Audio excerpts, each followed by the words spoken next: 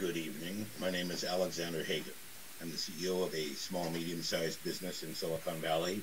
Previously, I was a financial analyst and financial journalist. I've also been a research engineer in telecommunications. Tonight, what I'd like to speak to you about uh, references a previous talk I talked about the rise of nationalism and nationalist parties.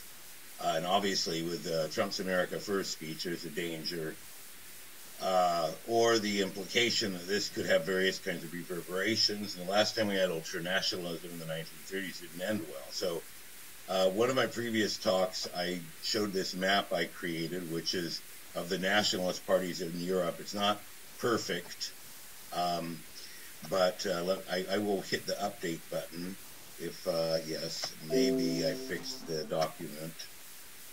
Um, but in fact, it's exactly what we uh, feared, really. Um, yeah, uh, which is that uh, uh now the Polish ultranationalists are already in charge. Now, being a nationalist party means all kinds of different things. Not all of them are climate change deniers. Things have gotten complicated.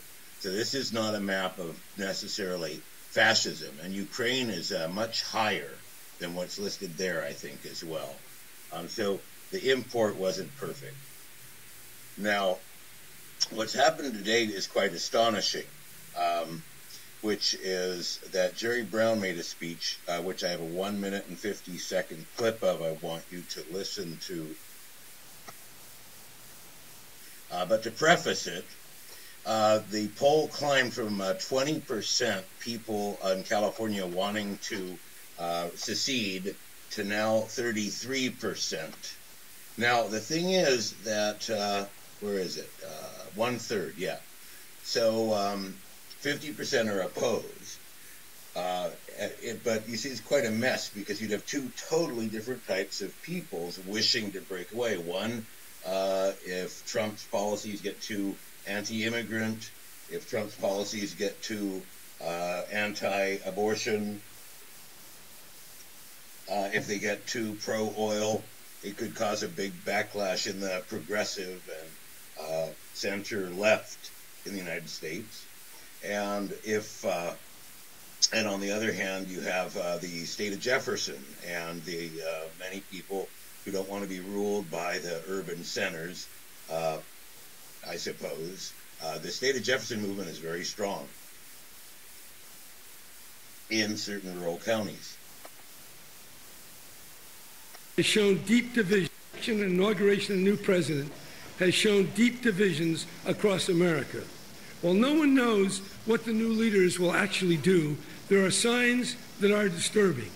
We must prepare for very uncertain times and reaffirm the basic principles that have made California the great exception that it is. First, in California, immigrants are an integral part of who we are and what we become. California has enacted several protective measures for the undocumented the Trust Act, the driver's licenses, basic employment rights, and non discriminatory access to higher education.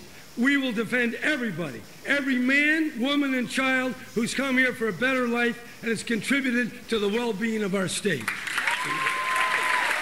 The climate is changing, the temperatures are rising, and so are the oceans. Natural habitats everywhere are under stress. The world knows this. 194 countries have signed the Paris Agreement to control greenhouse gases. We can't fall back and give in to the climate deniers. The science is clear. The danger is real.